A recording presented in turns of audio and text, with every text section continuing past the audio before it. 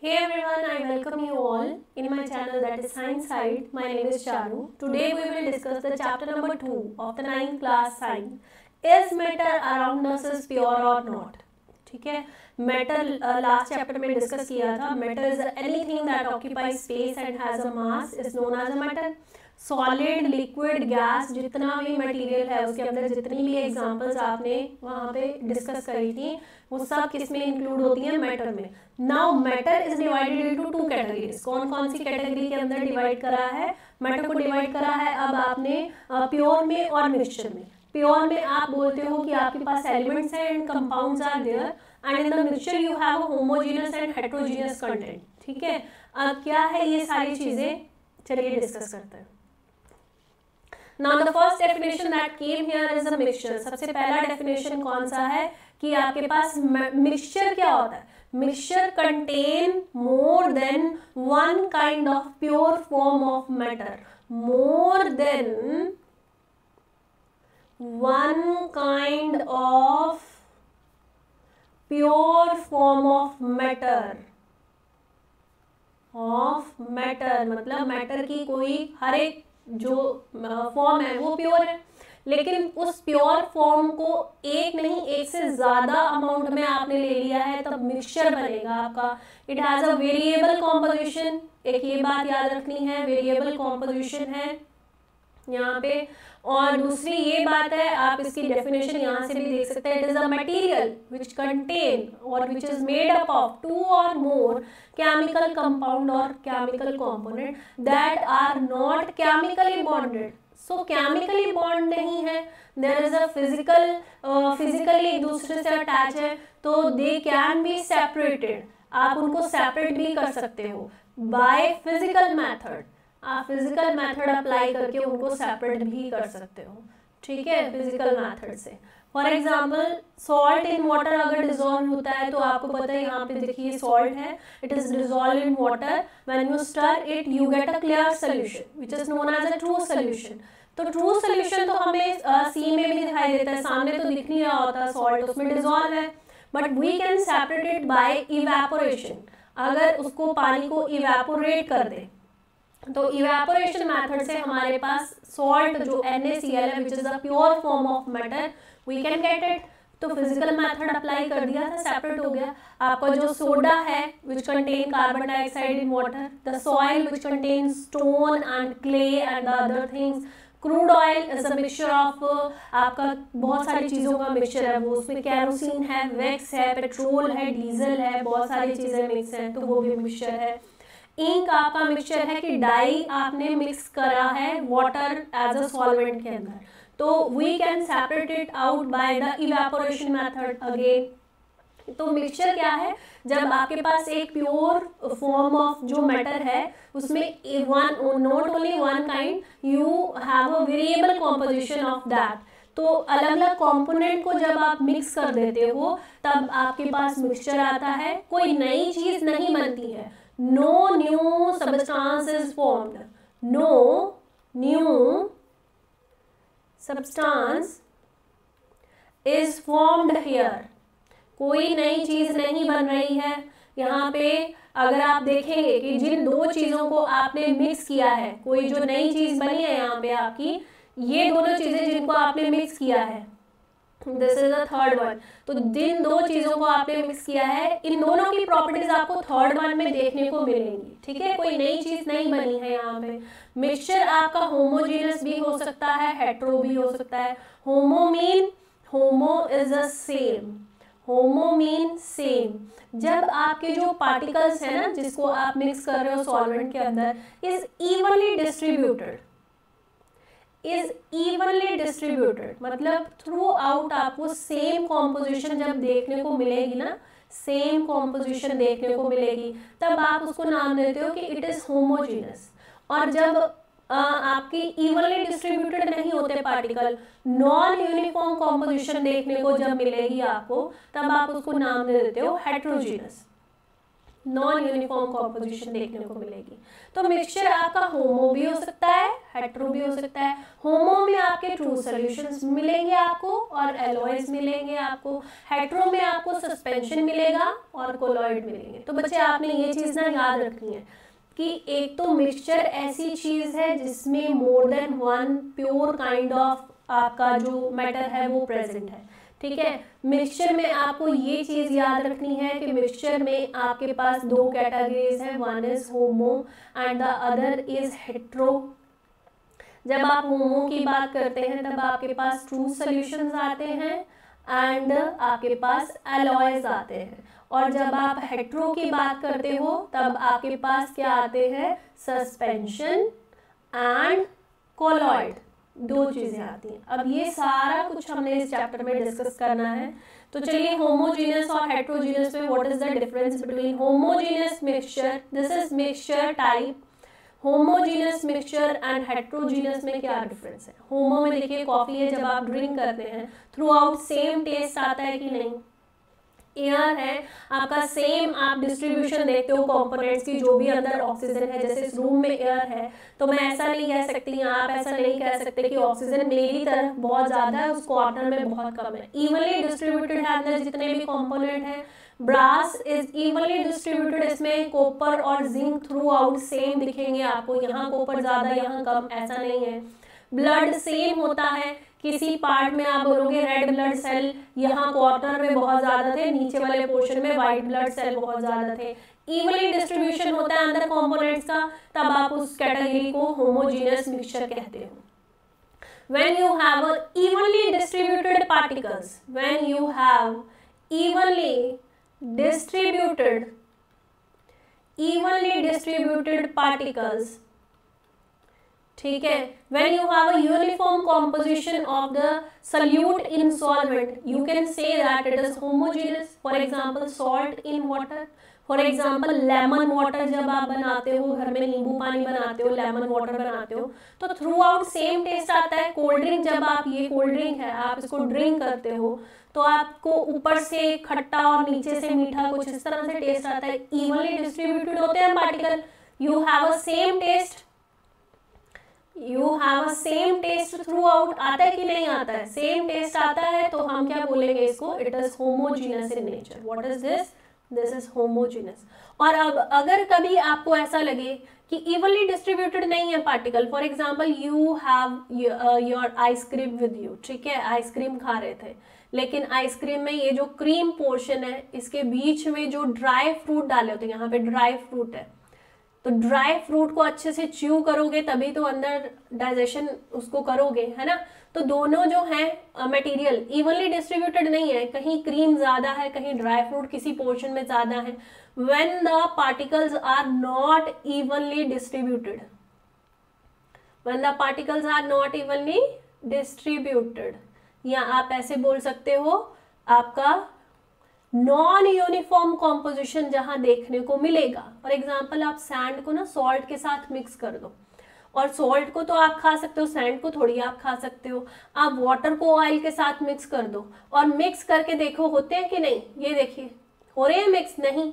Oil आपका laser density वाला है तो it get float on the surface of the glass और पानी जिसकी डेंसिटी ज़्यादा है वो नीचे सेट हो जाएगा. इट सेटल है ना? सेटल तो नहीं मतलब ये नीचे फ्लोट करेगा, ये ऊपर फ्लोट कर रहा है. तो नॉन यूनिफॉर्म कॉम्पोजिशन जब आपको देखने को मिले particles are not evenly distributed taste same नहीं आ रहा है. सैलेड आपने कट किया, आप खा रहे हो. कभी टोमेटो कभी कुकुम्बर कभी कुछ आप, आपका टेस्ट में अलग अलग चीज़ें आ रही हैं. तो पार्टिकल्स इवनली डिस्ट्रीब्यूटेड नहीं है. तो टेस्ट सेम नहीं है. तो आप बोलोगे कि मेरा जो मिक्सचर है वो कैसा है? हेट्रोजीनियस ये बिस्किट ये पिज़्ज़ा इसकी टॉपिंग अलग अलग है तो यहाँ से चीज़ का टेस्ट आएगा, यहाँ से टमाटो का टेस्ट आएगा, यहाँ से लीफ का टेस्ट आएगा। अलग अलग टेस्ट जब आते हैं। खाने की चीज़ों की बात नहीं, यहाँ पे ये खाने की चीज़ नहीं है। But you are mixing the two things which are not mixed with each other तो नॉन यूनिफॉर्म कॉम्पोजिशन यहाँ पे देखने को मिलेगा। सो इट इज़ हेट्रोजिनस जहाँ पे नॉट इवनली डिस्ट्रीब्यूटेड आपको पार्टिकल्स देखने को मिलेंगे। ठीक है? नेक्स्ट चलते हैं। तो आपका यहाँ पे देखिए, जब आप होमोजीनियस मिक्सचर की बात करते हैं व्हेन यू आर ठीक है discuss about the homogeneous mixture की आप डिस्कशन करते हैं, तब आपके पास आता है solution what is solution solution we have a solute with us which is in less quantity and we are mixing it with solvent and solvent has a greater quantity.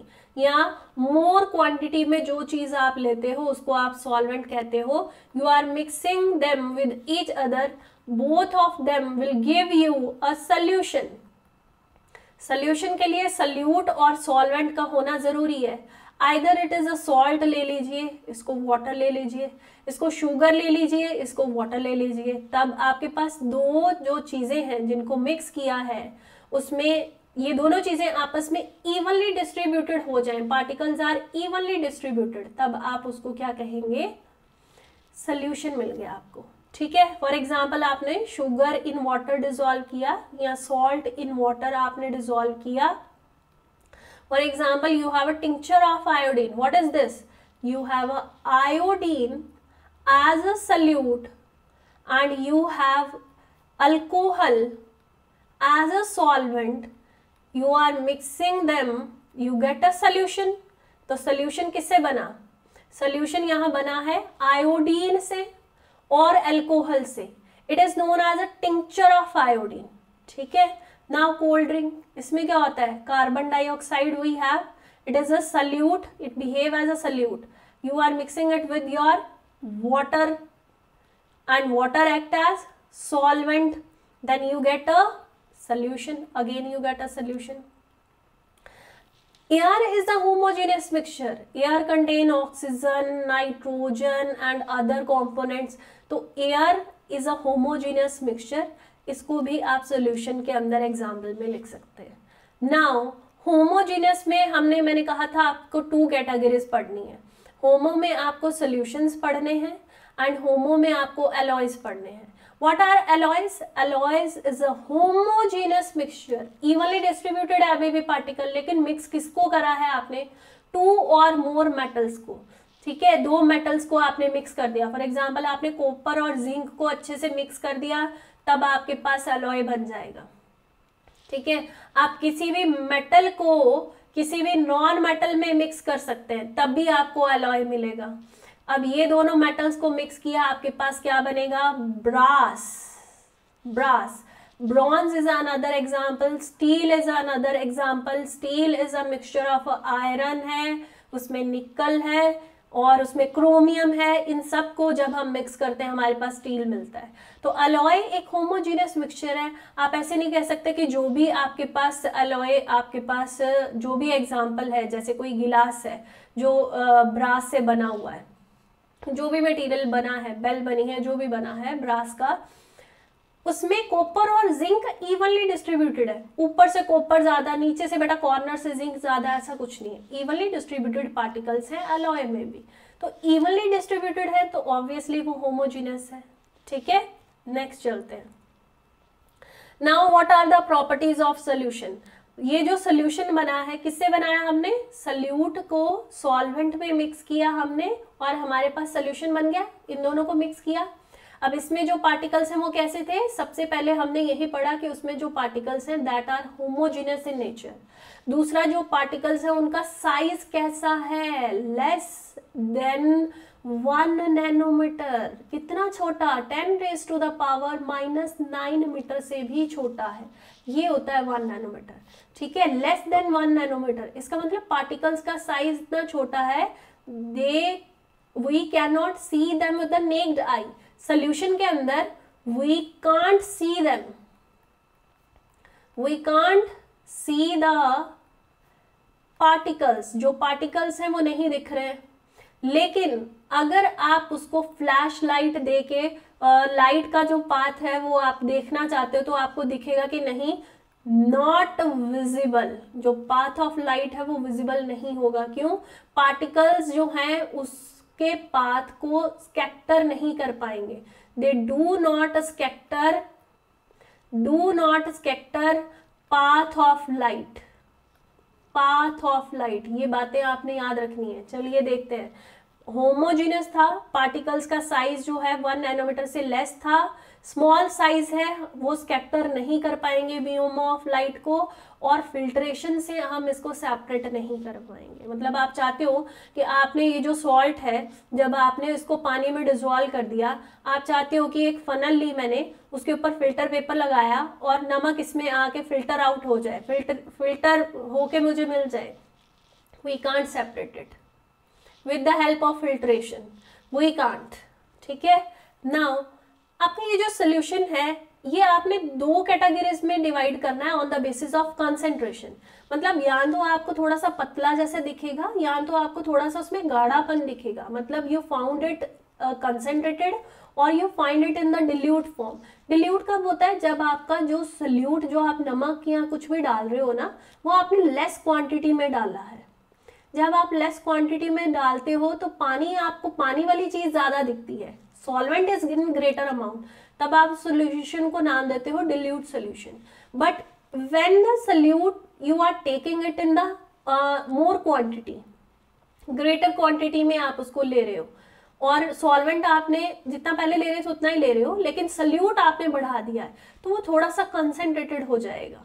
For example एक ही spoon अगर आप sugar का dissolve करते हो ना water में sugar in water अगर आप डिजोल्व करते हो, कितना? ओनली वन स्पून तो आपको पानी इतना मीठा नहीं लगेगा, लेकिन आपने जलेबी जिसमें डिप करते हो, वो शुगर सिरप होता है ना, गाढ़ा सा।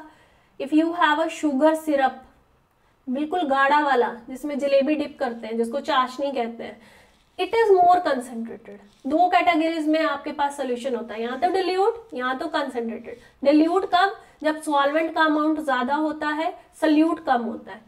और जब सल्यूट ज़्यादा कर दें सॉल्वेंट चलो उतना ही है, लेकिन सल्यूट बढ़ा दिया हमने बहुत ज़्यादा, तब हम उसको सोल्यूशन को कहते हैं we have a concentrated form of solution okay now what is this mass by mass percentage ma uh, mass by volume volume by volume so mass by mass percentage w by w percentage होता है and uh, इससे क्या calculate करना आपने you have a mass of solute with you and you are divided dividing it with the mass of solution mass of solution के साथ आप इसको डिवाइड कर दो और फिर हंड्रेड से मल्टीप्लाई कर दो। ये क्यों करवा रही हूँ?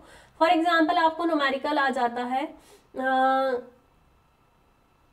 If you have if you have thirty six gram of thirty six gram of sugar dissolve in dissolve in 300 gram of water. Calculate mass by mass percentage. तो कैलकुलेट कैसे करेंगे? मुझे पता है ये फॉर्मूला है मास बाय मास परसेंटेज का solution के लिए मास बाय मास परसेंटेज इस फॉर्मूले से निकालते हैं। तो ऊपर क्या लिखना है भाई? मास ऑफ़ सल्यूट लिखना है। That is very easy sugar आपका क्या होता है? बहुत बार बताया मैंने। शुगर आपका क्या है? सल्यूट की तरह एक्ट करेगा। और आपका जो सॉल्वेंट है वो यहाँ पे क्या दिया है इस क्वेश्चन में? दैट इज़ वाटर आपको सोल्यूशन नहीं दिया है। तो सोल्यूशन कैसे बनता है? सल्यूट और सॉल्वेंट को मिक्स करके तो यहाँ पे शुगर आपको और ये जो वाटर है आपको, इसको आप मिक्स करोगे सोल्यूशन बन जाएगा। Now it is time to calculate the mass by mass percentage तो कैसे कैलकुलेट करेंगे? आपको शुगर कितना दिया है? थर्टी सिक्स एंड नीचे आपको सोल्यूशन का तो दिया नहीं, लेकिन आप निकाल ज़रूर सकते हो। आपके पास सल्यूट है थर्टी सिक्स आपके पास सॉल्वेंट है three hundred you can divide your thirty six by three three six and you can multiply it with hundred क्योंकि आपको क्या करना है? परसेंटेज में आंसर निकालना है ना? तो आपने इसको हंड्रेड से किया, आपका मास बाय मास परसेंटेज आ जाएगा। इसको डिवाइड करेंगे हंड्रेड से मल्टीप्लाई करेंगे यू गेट योर आंसर तो इस तरह से अगर कंसेंट्रेशन को मेजर करना है आपने you want to measure it you can do the mass by mass percentage you can do the mass by volume percentage mass by volume में बहुत ईजी है. मास बाय वॉल्यूम परसेंटेज कैसे निकालते हैं? Mass of solute mass of solute divided by volume of solution now, volume of solution is given in ml आपको ml में दिया होगा, बच्चे वो। ठीक है? ये।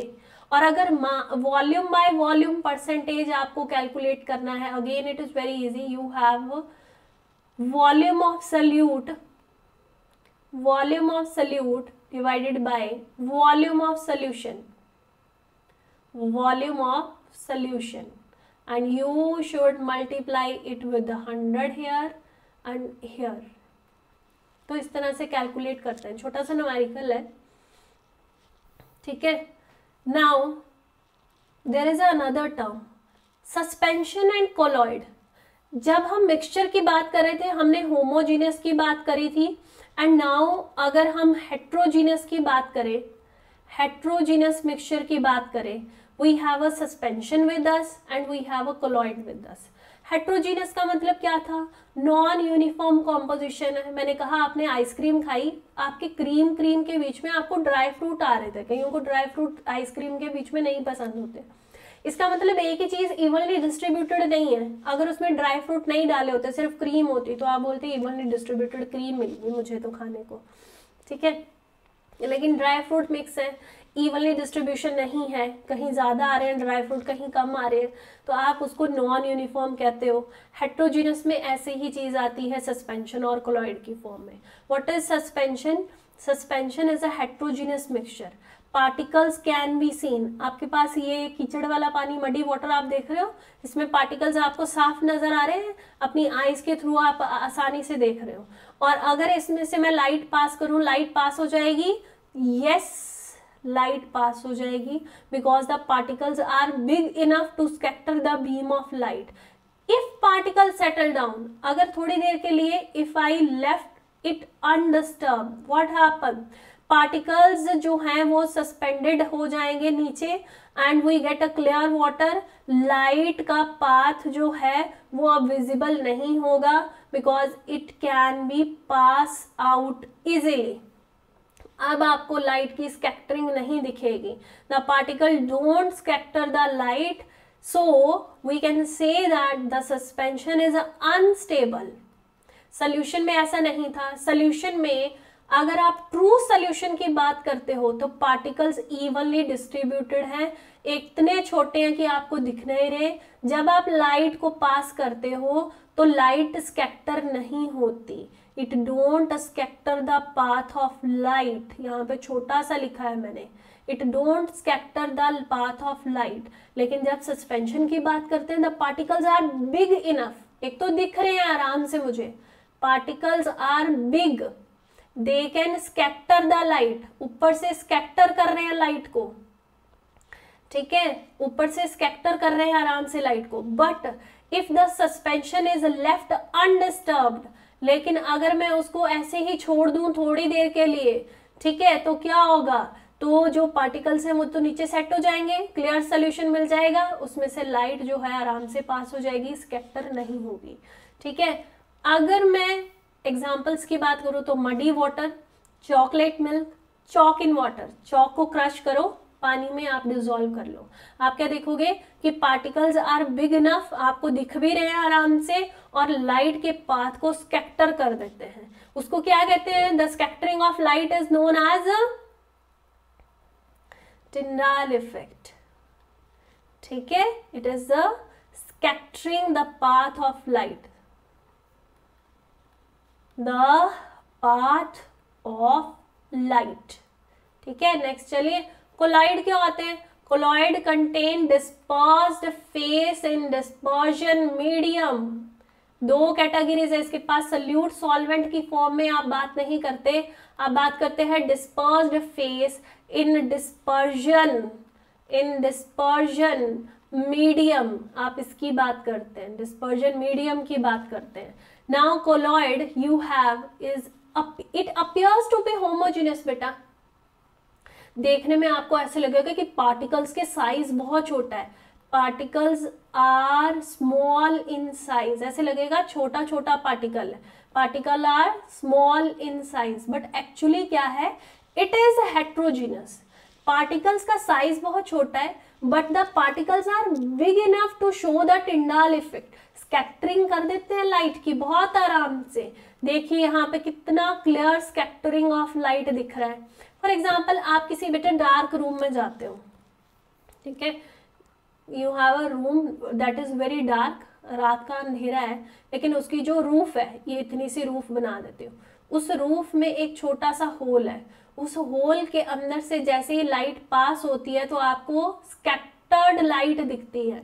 या आप किसी डेंस फॉरेस्ट में एंटर करते हैं you observe that there is a scattered light inside because वहाँ पे जो डस्ट पार्टिकल हैं, या जो फोग के, या वाटर वेपर के पार्टिकल्स हैं, वो इस लाइट को क्या कर देते हैं? स्कैटर कर देते हैं। तो उसी स्कैटरिंग ऑफ़ लाइट को क्या कहा जाता है? This is known as सिंडाल effect ठीक है? साइंटिस्ट के नेम पे इस इफ़ेक्ट का नाम है।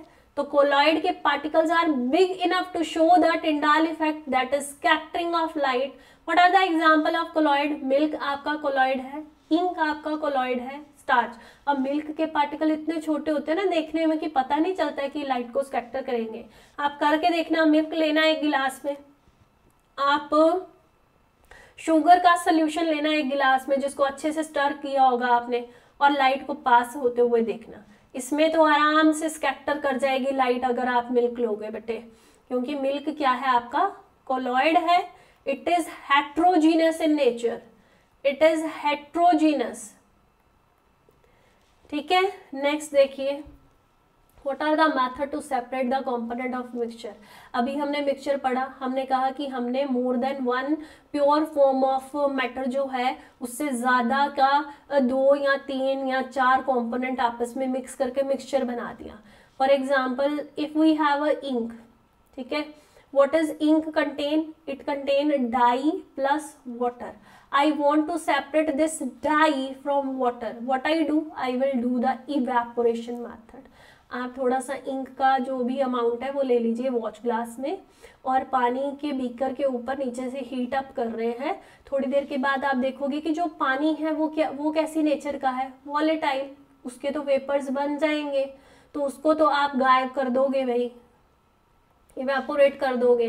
लेकिन dye left behind and it act as a solute और water act as a solvent तो सल्यूट को ऐसा सल्यूट जो कि नॉन वॉलेटाइल है, उसको आप सेपरेट कर सकते हो वॉलेटाइल कंपोनेंट से by evaporation we can we find that ink is a mixture of dye in water clear है? सेंट्रीफ्यूगेशन देखिए कोलॉइड में डिस्पर्स्ड फेस था। Colloid contain dispersed phase dispersed phase in dispersion medium. In dispersion medium दो चीज़ें mix थी, लेकिन इन दोनों को आपने सेपरेट आउट करना है। You will do the centrifugation ठीक है? एग्ज़ाम्पल जैसे आप for example you want to separate the cream from the milk कैसे करते हो? मिक्सर में डाल देते हैं आपकी मम्मा, और क्रीम बन जाती है मिल्क से। जब आप सेंट्रीफ्यूगेशन से आप सेपरेट करना चाहते हो क्रीम को. For example you want to separate the butter from the lassi ये तो सबने देखा होगा. घर में लस्सी होती है, सबकी मदर जो है बटर निकाल देते हैं उससे. किस मेथड से? सेंट्रीफ्यूगेशन मेथड से. या आपकी जो वॉशिंग मशीन है the dryers which is present in the washing machine by centrifugation wet cloth से स्क्वीज आउट कर, हो जाता है सारा पानी. You can squeeze out the water from the wet cloth by centrifugation method और ये यहाँ पे डायग्राम क्यों रखा है मैंने? आपका लैब्स में जो भी आपके ब्लड टेस्ट होते हैं ना, है ना? उसके लिए आप इस मशीन को यूज़ करते हो। लैब्स में होती है ये। आपका प्लाज्मा रेड ब्लड सेल से आप उसको अलग कर सकते हो। प्लाज्मा प्लस आरबीसी होते हैं ब्लड में। And when you do the centrifugation method plasma separate out हो जाता है फ्रॉम द आरबीसी ठीक है? ये सेंट्रीफ्यूगेशन से हुआ आपका। यूरिन टेस्ट ब्लड टेस्ट ये सब सेंट्रीफ्यूगेशन मेथड से हम कर सकते हैं। ठीक है? नेक्स्ट देख